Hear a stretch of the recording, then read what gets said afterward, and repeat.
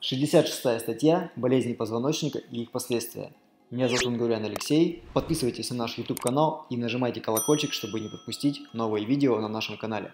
А Сегодня со мной Юлия Фаридовна, наш врач, э, которая даст нам комментарии к такой сложной статье, вот как 66-я, потому что очень много всего непонятного простому человеку, и без врача разобраться крайне сложно.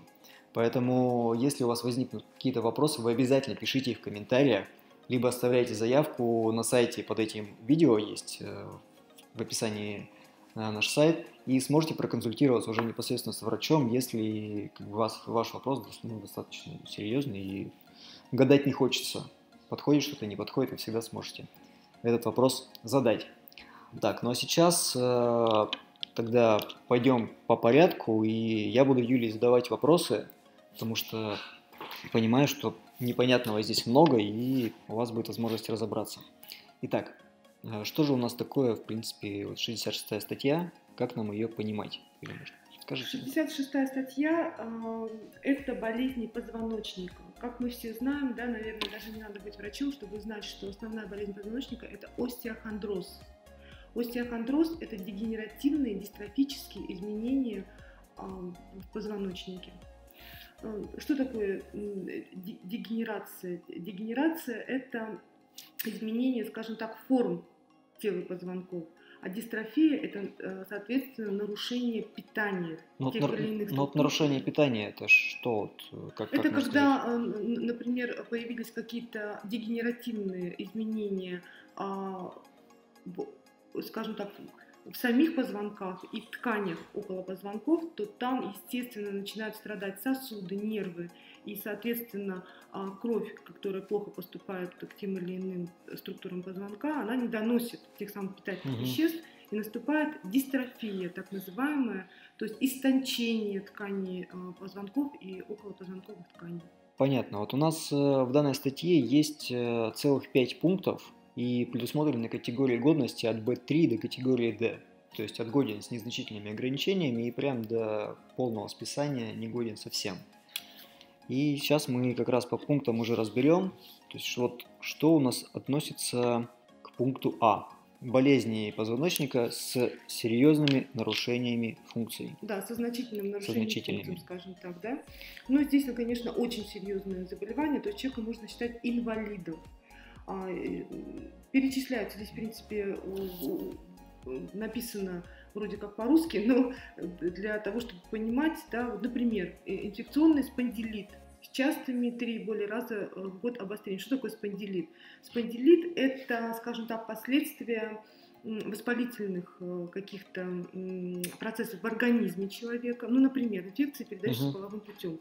Человек переболел такими заболеваниями, не вылечился до конца, но перешло в хронический процесс и распространилось на, на скажем так, позвоночный столб. То есть это некоторые воспалительные процессы? Последствия, да? скажем так, воспалительных процессов в организме. Допустим, туберкулезом человек болел, uh-huh. тоже до, до конца не вылечился, или даже он лечился, но вот у него такое осложнение, что у него родился спондилит скажем так, да, но это уже... Э, э ну, это уже надо врач непосредственно, конечно. А ну, как, конечно, какой там врач анализы. У нас? Невролог. Невр... Невролог. Невролог, конечно, этим занимается невролог, но, естественно, он э, будет консультироваться и с инфекционистами, и угу. с ортопедами, и с хирургами, то есть здесь нейрохирурги, здесь подключается много специалистов, скажем так. Хорошо, давайте. Дальше, вот, например, да, а, э, спондилолистез – это а, непосредственно смещение тел позвонков если так вот говорить по-русски, это смещение тел То позвонков. относительно друг, друг друга. друга. Относительно, скажем так, вот этой вот центральной оси, тела позвонков смещаются, соответственно, они начинают сдавливать структуру, непосредственно спинной мозг, да, а, который идет посередине, и отсюда начинаются различные проблемы. Здесь вот даже, в принципе, написано смещение больше половины да, поперечного диаметра. Это же понятно. Принципе, ну да, да, да. То есть относительно середины. С постоянно выраженным болевым синдромом и нестабильностью позвоночника. То есть, естественно, когда а, в каких-то органах и системах нарушается у нас, э, скажем так, изначальное положение, первое, что у нас возникает, это боль, первый сигнал, да, то есть очень выраженный болевой синдром. А вот нестабильность это что такое? Нестабильность тел позвонков – это когда а, при обследовании пациента, а, он обследуется в разных проекциях, лежа, стоя, да, боковые проекции, у него не изменяется положение тел позвонков. Если оно не изменилось, это стабильное да, положение тел позвонков. Если же оно изменилось, это нестабильное. Нес- Нестабильность. Мгм. Так, давайте тогда пойдем дальше. Будем разбирать будем в основном непонятные слова. То Да. есть э, мы здесь не говорим, как поступать в той или иной Мгм. ситуации, а просто чтобы вам было проще понимать данную статью. Мгм. А, следующий у нас идет тут деформирующий Да, вот, например, спондилез. спондилолистез мы разобрали, да, деформирующий э, спондилез – это, скажем так, дегенеративные изменения в дисках позвон- позвоночника, да, это э, хрящевая ткань. Мгм. Вот спондилез – это дегенеративные изменения. Ну, Вот у нас есть здесь еще несколько картинок. Мгм, мгм. Давайте у нас, э, я думаю, как раз на эту тему есть. э, Иллюстрация, да, где можно Да. наглядно показать. Ну, по крайней мере, показать, что, за, что такое диски. Да, Да? да, да. Вот, вот у нас Они межпозвонковые диски. хрящевую структуру, и как мы уже до, до этого я говорила, э, дегенерация это изменение формы да, того или иного органа или а, части органа. И вот здесь вот, как мы видим, диски вот э, они, они имеют хрящевую структуру, и, например, они меняют э, свою структуру в зависимости от того, сдавливаются они или э, м, позвонки смещаются относительно друг друга, относительно оси. Соответственно, диск, так как он более мягкая структура, он, естественно, будет подвергаться дегенеративным изменениям. Так вот, спондилез – это дегенеративное изменение вот этого самого хрящевого диска. Ну, вот на этой картинке достаточно Да, наглядно достаточно видно все, то, что, про то, что там написано. Сейчас И, пока... э, Да, здесь мы уже это, это разобрали. Дальше, да, что у нас, Да. какие у нас непонятные тут идут эм, моменты, которые могут возникнуть вопросы. Ну вот, например, давайте вот зачитаем прямо вот этот вот такой момент. Деформирующий спондилез остеохондроз шейного отдела позвоночника. При наличии нестабильности деформирующий спондилез остеохондроз грудного поясничного отдела позвоночника сопровождающий глубоким пара и тетрапорезами. Да? А, то есть парапарез – это снижение силы в двух конечностях, тетрапарез – это снижение силы мышц и верхних и нижних конечностей. То есть руки и ноги... Да, э, с- это снижение силы, силы. мышц, скажем так. И да? вот давайте как раз грудные сразу отделы позвоночника, да, то есть э, покажем, что вот они, да, вот тоже есть да. картинка, есть шейный Мгм. отдел, Да, это вот если вот здесь вот возникает боль ограничений движений, то это остеохондроз шейного отдела позвоночника. Соответственно, в грудном отделе, когда возникает боль ограничений движений, это грудной остеохондроз. И поясничная вот локализация здесь у нас находится. В принципе, это все, наверное, понимают, но на всякий случай иллюстрация помогает более для себя, как скажем так, уяснить.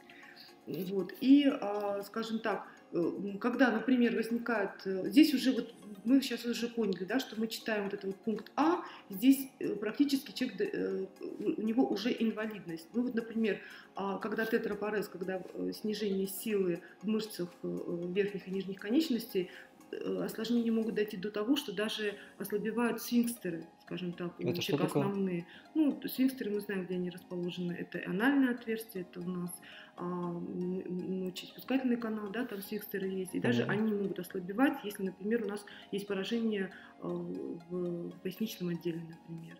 То есть до такой степени могут быть осложнения. в общем, позвоночник это серьезно. Да, это очень э, серьезно. Вот. И, а, скажем так, дальше вот идут, допустим, а, с нарушением функции сфинктером, с синдромом бокового амиотрофического э, склероза. Амиотрофический склероз – это э, так называемая болезнь Шарко. Это разрушение двигательных нейронов, то есть это, э, скажем так, разрушение клеток головного мозга когда, ну, скажем так, перестает э, мозг контролировать движение мышц. Ну, ск- скажем Ну так, да, слабость. то есть мы Опять сейчас мышцы. э, именно Да. переводим на такой более простой язык, то есть, Да. конечно, для врачей там все более э, Для врачей называется обширно- амиотрофический склероз. обширно да. написано. и- А здесь я вам просто вот объясняю, что это, э, скажем так, очень, очень сильно мышцы начинают быть такими высушенными да, и слабыми. То есть Ну, так вот внешне. дава- да. Давайте пойдем дальше. Э, Например, также полиомиелитическим, да, это а, атрофия в мышц э, в ни- в нижних э, конечностях, полиомиелит, если Мгм. так вот э, говорить. Дальше каудальный, сосудистый, компрессионный синдром. Каудальный, а, чтобы вы понимали, переводится с латыни как хвостовая часть позвоночника. Вот. И а, еще по-другому называется конский хвост. Да, и э, находится в самом конце позвоночника, так как у нас э, сам непосредственно спинной мозг, он короче, чем позвоночный столб, э, то там уже появляются как бы так называемые вот в этом хвостовом отсеке корешки. И вот так называемый корешковый синдром его по-другому называют. А, вот. Ну, естественно, вы поняли, что это в пояснице. Да? Вот. И начинают страдать, ну, скажем так, тазовые органы вот, и ноги непосредственно. Да? То есть, когда вот у нас поражается колдальный, когда у нас есть колдальный синдром. Вот. Сосудистый синдром – это в основном чаще всего все-таки касается, скажем так, шейного отдела, то есть развиваются головные боли, развивается боль в шейном отделе позвоночника, а, где пережимаются сосуды. То есть вот основные магистральные такие вот крупные сосуды. То есть это боль, снижение чувствительности, слабость мышц, снижение рефлексов. А, вот. И э, в зависимости от того, какой корешок поражен, то э, возникает тот или иной синдром. Понятно. Да, а, и, например, компрессионный. Компрессионный это, в принципе, тоже всем наверняка понятное выражение, это когда сдавливание идет тех или иных Но корешков. я не уверен, что все правильно понимают, что такое компрессионный. Ага. Вот вы говорите, что сдавливание. Да. Теперь, конечно, это понятно. сдавливание, да, а, тех или иных э, корешков, то есть вместе выхода, скажем так, из ствола да, того или иного корешка, где он в шейном отделе, в грудном отделе, в поясничном отделе, возникают те или иные э, симптомы. Дальше что у нас здесь идет? Ну и, соответственно, здесь написано дальше, возникают выраженные болевые э, синдромы, да, статодинамические нарушения. То есть надо понимать, что статика, э, нарушение статической функции это нарушение формы позвонка, а нарушение динамики – это нарушение, ну, это понятно, движения возможность ну, совершать те или иные движения в полном объеме. Теперь, теперь я думаю, понятнее. Да, да. Чтобы не возникало вот. разночтений. То есть и э, нарушение статодинамических нарушений да, после длительного не менее трех месяцев в год лечения социальных условий без стойкого клинического эффекта. То есть мы сейчас с вами зачитали пункт Да, то есть смотрите, мы mm сейчас дальше не будем идти так подробно, mm то есть мы разберем э, ключевые вещи, а вот на, если у вас возникают вопросы какие-то, что вот у вас встретилось что-то незнакомое, и вам непонятно, что с этим делать, вы просто лучше задайте вопрос, и мы сможем э, на ваш вопрос ответить именно врач, разберет вашу ситуацию, потому что в 66 статье действительно очень много нюансов. То есть ее даже прочитать сложно, не то, что не разобраться. Вот, им надо понимать, что смотреть. Потому что спина болит у многих. Куда это здесь отнести? Наверняка да. куда-то можно, а вот куда непонятно, да. честно. И, естественно, а, отвечать на вопросы будет намного легче, а вот, э, скажем так, давать комментарии по этой статье, ну, не уложится ни в 10, ни в 15 минут. Да, поэтому мы сейчас э, пройдем дальше достаточно коротко, разберем mm-hmm. ключевые моменты, наверное, которые чаще возникают, именно mm-hmm. с чем мы сталкиваемся. Давайте пойдем к пункту Б, потому mm-hmm. что, как мы говорим, если ваше заболевание подходит под пункт А, наверняка вы все-таки про это знаете, и вас да, и так в армии да, не призовут. Да, да. Да, поэтому пойдем дальше.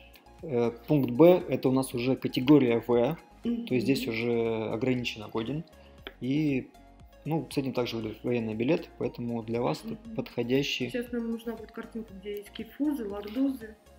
Так, да, давайте ее откроем. Вот у нас есть еще картинка, которая покажет, что же за заболевания такие нарушения. Даже тут не то чтобы заболевания, а здесь обратите внимание на то, а, как у человека, где расположен лордоз, где у него расположен кифоз, это физиологические искривления позвоночника, да, а, когда уже можно у человека увидеть сутулость, и когда у него можно уже увидеть сколиоз. Да? То есть а, в норме, да, вы видите, у нас есть физиологические э, искривления. Ну, лордоз это под, над поясницей, да, да, изгиб да, да, э, получается, да, ну да, и, и так далее. Да, есть, да. Что... Вот. И, соответственно, видите, сутулость это когда э, у человека э, в виде горба уже искривляется спина, да, и сколиоз это когда у него вправо или влево искривлен позвоночник под определенным углом.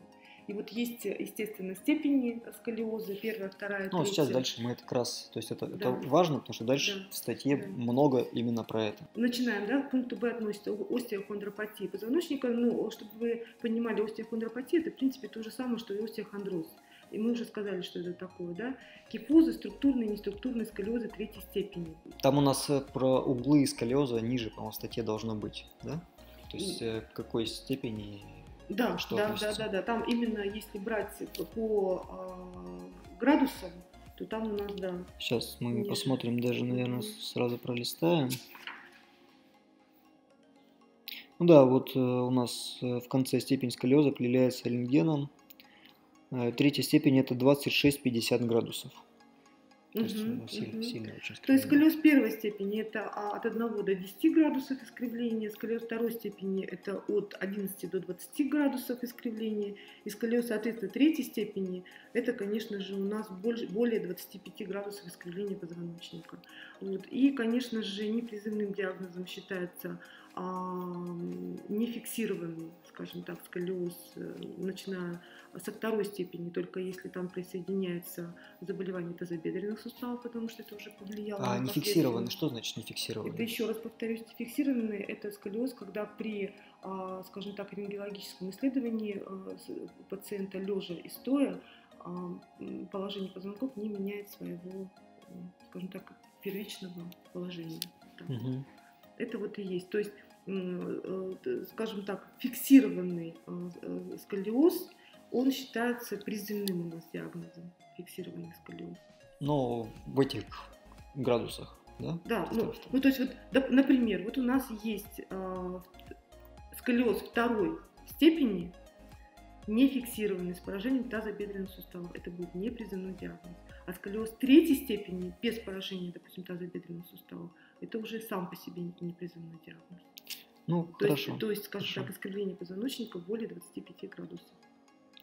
А, Давайте дальше тогда по статье. С умеренной деформацией грудной клетки, дыхательной недостаточности второй степени по рестриктивному типу. Да? Умеренная деформация д- грудной клетки, вы уже видели сейчас да, на иллюстрации, что когда позвоночник искривляется а, в бок, то есть там, соответственно, естественно, под него подстраивается э, весь, эм, скажем так, наш остов да, человека, опорно-двигательный аппарат, и, естественно, идет искривление грудной клетки. Это начинает задевать а, органы, э, которые расположены в грудной клетке. Это сердце, это легкие. Вот, и может развиться а, какие-то сердечные заболевания, могут развиться и заболевания а, дыхательной системы. Здесь написано по рестриктивному типу. Да, второй тип по, по рестриктивному типу. То есть это когда в данном случае имеется в виду уменьшилась э, объем, площадь легкого. Ну, то есть в связи с... э, Деформации, да, естественно, э, позвоночник начинает поддавливать, да, и все, что там сместилось, то он начинает поддавливать на легкое, оно уменьшается в своих объемах, и начинается э, дыхательная недостаточность по рестриктивному типу.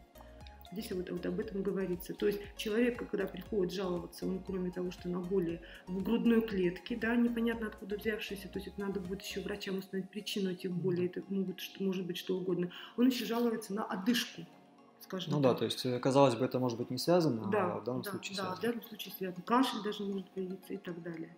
А, Инфекционный спондилит с редкими один-два раза, да, это мы уже с вами говорили. Спондилит – это последствия переболевания какими-то инфекционными заболеваниями. Да, поэтому давайте здесь, Здесь про- про- проходим, проходим-то Да. дальше. Здесь один-два раза в год, я думаю, это понятно. Мгм. То есть я, в принципе, до этого все объяснила, и дальше, допустим, пункт Б, В идут просто по уменьшающим, скажем так. Давайте сейчас А, самые непонятные слова мы здесь э, найдем. Да, например, сейчас мы дойдем, давайте до пункта, вот пункт Б мы коротко просмотрели. Пункт В. Вот пункт В это все еще категория В. То есть это еще не, не призывная степень, поэтому а, вам надо обращать внимание, что все, что будет уже ниже, это уже будет все призывное, и вам по большому счету без разницы. Ну, с точки зрения призыва в армию, да, есть это у вас или нет, вас равно призовут, только с ограничением по роду войск. А вот э, Ну вот, Алексей, пожалуйста, вот вы, допустим, пункт В, вот вы прочитайте, Давай- и давайте что я- вам будет непонятно, Давайте я как задайте э, я сам не врач Да. и могу как бы с вашей стороны А, спросить. Вот к пункту В у нас относится фиксированное предвлеченное искривление позвоночника, сопровождающееся ротацией позвонков. э, Ну, ротация тут, в принципе, тут указано, что это, Это такое, это сколиоз, это, да, это сколиоз, Да. остео- остеохондропатический кифоз. Мгм. А, вот там тоже далее написано все. Это, в принципе, мы все А, уже сейчас разбираем. Ограничены Да. Физически набрать. да? Ограниченный деформирующий спондилез, Мгм. поражение трех тел позвонков и межпозвонковый остеохондроз. Ну, с этим тоже мы совсем уже с вами разобрались. Да, да. А также неудаленные металлоконструкции после операции по поводу заболеваний позвоночника при отказе или невозможности их удаления. Ну, то есть, э, если у вас после каких-то травм да, остались э, металлоконструкции, их невозможно удалить, соответственно, это тоже будет Конечно, конечно. подходить. э, Мгм. Вот. Ну, а если все-таки они в перспективе должны быть удалены, то вам будут давать отсрочки. Ну да, то есть военный билет вы не получите, и эту статью, видимо, вам тогда не поставят. Мгм. будет у вас другая статья. А, Далее а, у нас... Вот что значит, кстати, клинические проявления? Вот часто э, такое... Мгм. Вот, Клинические проявления – это когда у пациента появляются жалобы. Э, Уже не раз я тут упоминала, Мгм. первая основная жалоба – это боль. Э, Дальше пошли жалобы по- такие более специфические в зависимости, в зависимости от того, э, непосредственно какой отдел позвоночника поражен. Да, если, например, это шейный отдел позвоночника, то там начиная от головной боли, к- кончая невозможностью поворота или наклона головы, это очень сильное, скажем так, напряжение в шейных э, мышцах, э, и, соответственно, отсюда тоже различные проблемы, вплоть до нарушения глотания или даже речи может Мгм. развиться, если шейный отдел позвоночника нарушен. А, Допустим, в грудном отделе мы до этого уже говорили, там может быть нарушение дыхания, и боли э, и сердце может начать как-то работать не совсем правильно. А, Соответственно, поясничный отдел – это органы малого таза. Да?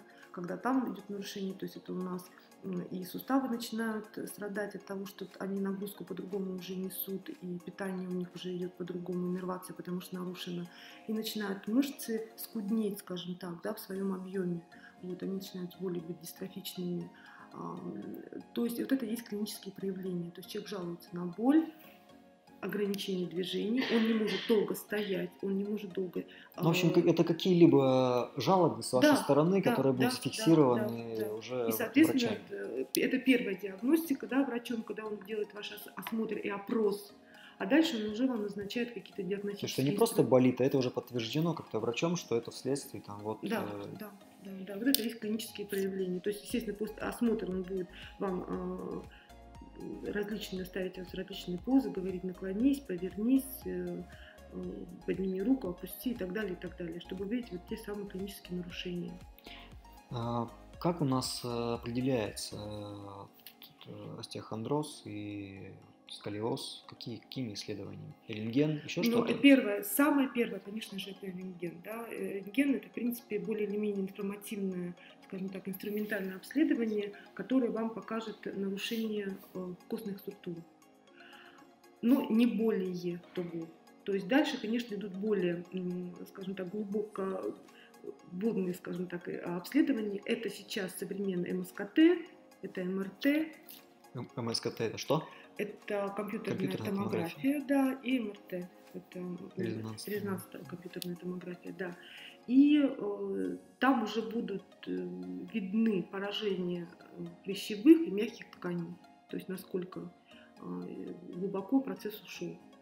Вот. Это вот наиболее информативные. Естественно, узкие специалисты, это, как я уже говорила, ортопед, невролог, травматолог, э, нейрохирурги могут быть даже задействованы при консультации при данных заболеваниях.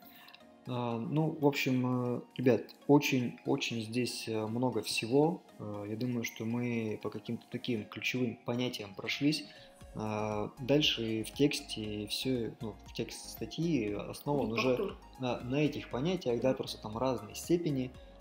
И где их взять, естественно, где в ваших медицинских документах, да? Да, да. Если у вас их нет, то необходимо, значит, пройти обследование, чтобы они у вас появились. Да. А, Ну и я уверен, что как бы, если у вас э, есть проблемы со спиной, то э, у вас есть вопросы, скорее всего. Поэтому вы их лучше задавайте. Есть ссылка под этим видео в описании.